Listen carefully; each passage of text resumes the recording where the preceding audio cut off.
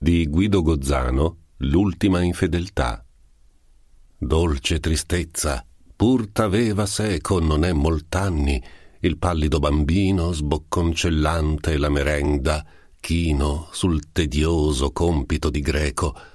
Più tardi, seco tebbe in suo cammino sentimentale, adolescente cieco di desiderio, se giungeva l'eco d'una voce, d'un passo femminino. Oggi pur la tristezza si dilegua per sempre da quest'anima corrosa, dove un riso amarissimo persiste, un riso che mi torce senza tregua la bocca. Ah, veramente non so cosa più triste che non più essere triste.